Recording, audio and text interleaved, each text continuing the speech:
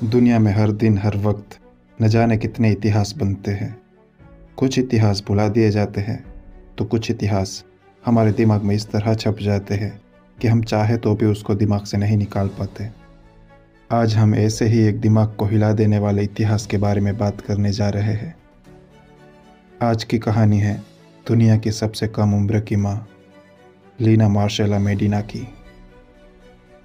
लीना मेडिना ने सिर्फ़ पाँच साल की उम्र में एक बच्चे को जन्म देकर पूरे मेडिकल हिस्ट्री को ही बदल के रख दिया। लीना मेडिना का जन्म 23 सितंबर 1933 में पेरू के टिकरापो कैस्ट्रोविरेना प्रोविंस में हुआ। पिता का नाम ट्यूबेरोला मेडिना और माँ का नाम विक्टोरिया लोसिया था। लीना नौ भाई बहन में से एक थी।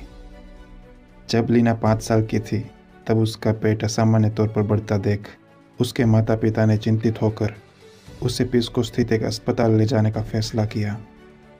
शुरुआत में लीना का पेट देखकर डॉक्टर्स को लगा कि शायद लीना एक बड़े से ट्यूमर से जूझ रही है। मगर बाद में डॉक्टर्स ने जाँच कर पता लगाया कि लीना सात महीने प्रेग्नेंट है। लीमा के एक स्पेशलिस्ट डॉक्टर, गेरार्डो लोजाडा ने लीना की प्रेगनेंसी की बात को कंफर्म किया। ये असाधारण सी कहानी अब चारों ओर चर्चा का विषय बन गई थी।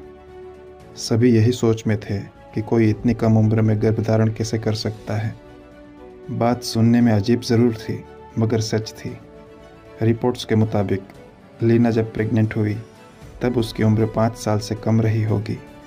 क्योंकि जब उसने बच्चे को जन्म दिया, तब उसकी उम्र पाँच साल, सात महीने और इक्कीस दिन थी।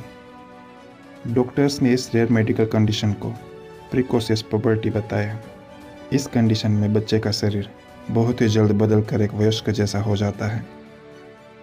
इस अनयूजुअल से केस में सभी को बड़ी ही दिलचस्पी थी। पेरू के एक पेपर, ला क्रोनिका में एक रिपोर्ट छप के सामने आई कि एक अमेरिकन फ़िल्म स्टूडियो उनकी तरफ़ से पाँच हज़ार डॉलर की मदद करना चाहते थे, लेकिन बदले में वो इस पूरी कहानी को भी शूट करना चाहते थे। ऐसे ही और भी लोग ऑफर्स लेकर सामने आए, मगर सभी को लीना के परिवार ने ठुकरा दिया। लीना की यह कहानी कभी सामने नहीं आ पाती। मगर एक लेख में कहा गया है कि डॉक्टर लोजाडा ने साइंटिफिक डॉक्यूमेंटेशन के लिए मेडिना की कुछ फ़िल्में बनाई थी। पेरू की नेशनल एकेडमी ऑफ़ मेडिसिन को संबोधित करते हुए उन्होंने ये फ़िल्में उन्हें दिखाई थी। बस यहीं से आगे जाकर लीना की कहानी सामने आ पाई। जाँच के छः सप्ताह बाद मेडिना ने सीजेरियन से एक बच्चे को जन्म दिया। बाद में डॉक्टर एडमंडो एस्कोमल ने अपने रिपोर्ट में दर्ज किया कि मेडिना के मासिक चक्र आठ महीना की कम उम्र से नियमित शुरू हो चुके थे। मेडिना के बच्चे का वज़न जन्म के समय दो दशमलव सात किलोग्राम था। मेडिना ने उसका नाम अपने डॉक्टर गेराल्डो के नाम पर गेराल्डो ही रखा।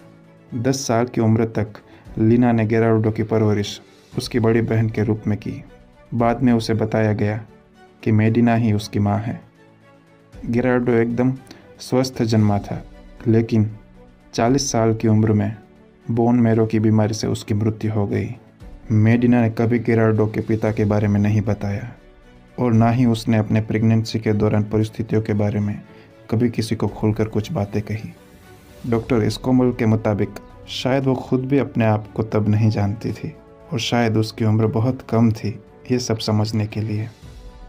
लीना के पिता को चाइल्ड सेक्सुअल एब्यूज़ के आरोप में गिरफ़्तार किया गया था, मगर सबूतों के अभाव पर उसे जल्द ही रिहा कर दिया गया। युवावस्था में लीना ने डॉक्टर गिराल्डो के क्लिनिक में एज ए सेक्रेटरी काम किया। डॉक्टर लोजाडा ने लीना और उसके बेटे गेराल्डो की शिक्षा में मदद की और बाद में लीना ने शादी कर ली। साल 1978 में उसने दूसरे बच्चे को भी जन्म दिया। खुशी की बात यह है कि लीना आज भी हमारे बीच मौजूद है। आज वो अट्ठासी साल की हो गई है। हाल ही में उसने रीयूटर्स को इंटरव्यू देने से इनकार कर दिया, जैसे उसने पिछले वर्षों में और पत्रकारों को ठुकराया था। कई लोग आज भी इसको एक छलावा मानते हैं। हमारी दुनिया काफ़ी सारे अनसुलझे रहस्यों से भरी पड़ी है। बात बस इतनी है कि आप उनमें से कितनी बातों को सच मानते हैं, कितनों को नहीं। आशा करता हूँ कि आपको मेरी ये वीडियो काफ़ी इन्फॉर्मेटिव और मज़ेदार लगी होगी। तो चलिए मिलते हैं अब अगले वीडियो में। तब तक के लिए अलविदा। अपना ध्यान रखें।